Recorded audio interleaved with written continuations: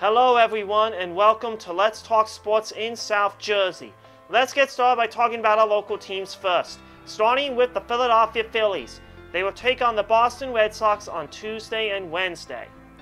And after that, a four game set with the New York Mets on Thursday, Friday, Saturday, and Sunday. They are a half game behind the Atlanta Braves. Let's hope they can start collecting wins in their upcoming series with teams that have winning records. The Philadelphia Union are 9 11 and 3 on the season. They will take on the New England Revolution on Saturday. They have 27 points on the season. If the season were to end today, they would be in the knockout round. They are behind the Montreal Impact for fifth place to get into the knockout round. Let's hope they get a few more wins under their belt and move up a spot in the Eastern Conference. The Philadelphia Eagles are 0-1 on the preseason. They will take on the New England Patriots on Thursday in Foxborough, a rematch of Super Bowl 52. The Philadelphia Eagles acquired quarterback Christian Hackenberg. He came from Penn State where he played for the Nittany Lions after which he signed with the Jets from 2016 through 2017. Christian also played for the Oakland Raiders in 2018. We will talk more of the local teams next week.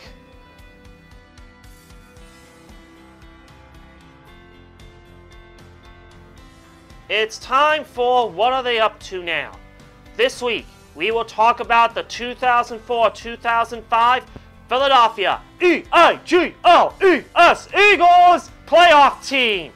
This week, we will be talking about Philadelphia Eagles head coach Andy Reid. Andy Reid was born on March 19, 1958, is an American football coach who is the current head coach of the Kansas City Chiefs of the National Football League. Reid was previously the head coach of the Philadelphia Eagles, a position he held from 1999 to 2012. From 2001 to 2012, he was also the Eagles' executive vice president of football operations, effectively making him the team's general manager. He led the Eagles to five National Football Conference championship games, including four consecutive appearances from 2001 through 2004, and one Super Bowl appearance in 2004. Reid played college football at BYU. In 2001, Reid's Eagles won the first of four consecutive National Football Conference Eastern Division titles, the longest such streak in franchise history, and advanced to the conference championship game in 2001, 2002, 2003, and 2004, losing this game on the first three occasions. The 2003 team qualified for the postseason play after opening the season with two losses both at home, and was also the first NFL team ever to reach a conference title round of the playoffs after having been shut out at home on opening day. The 2004 team was the second NFC East squad to defeat all of its division rivals New York football giants, Dallas, how about them Cowboys? Washington, hail to the Redskins! Twice during the same regular season. Dallas Cowboys did it in 1998. The 2004 Eagles clinched the NFC first seed with a 13 1 record and proceed to rest their stars for the final two games. After three straight NFC championship losses, the team beat the Falcons 27 10 and made it to Super Bowl 34, but fell to the New England Patriots 24 21 in the final minutes. Reid is a member of the Church of Jesus Christ of Latter day Saints. Reid met his wife Tammy in a physical education class at BYU. They have five children, sons Garrett, Britt, and Spencer, and daughters Crosby and Drew Ann. His oldest son Garrett was found dead August 5, 2012, in his room at training camp at Lehigh University from an accidental heroin overdose. Currently, Andy is the coach of the Kansas City Chiefs. Next week, we will talk about former quarterback for the Eagles, Redskins, and Vikings, number five, Donovan McNabb.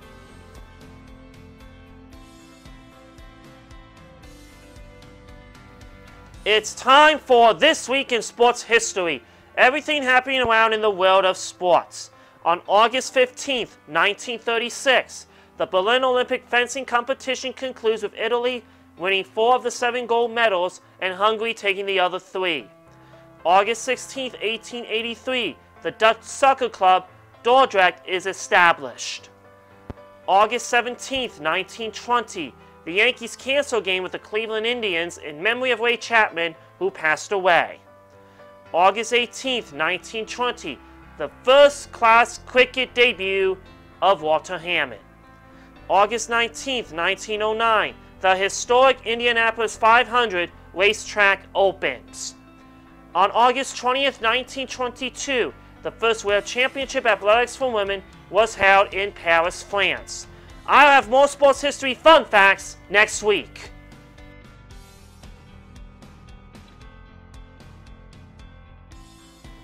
It's time to recap the 2018 PGA Championship.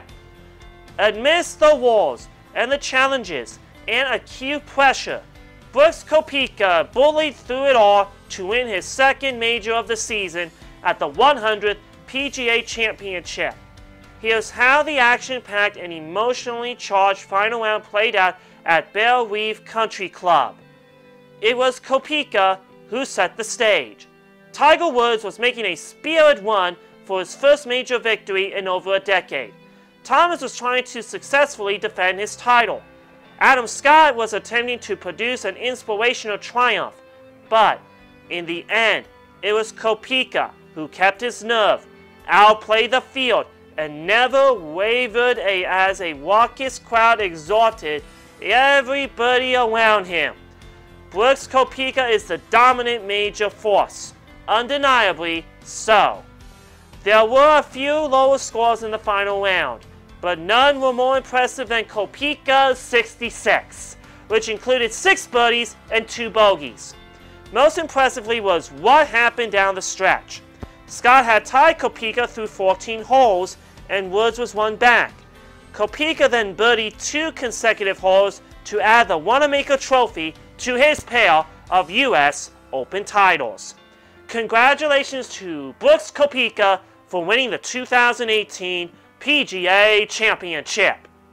Well, that is a wrap. You can also listen to my podcast at Stefan Sports Radio or through the podcast app or this YouTube channel. And you can listen to me Saturday nights at 6 o'clock on 1360 WNJC in Cherry Hill. Thank you for watching and keep those comments rolling and we will talk to you next week.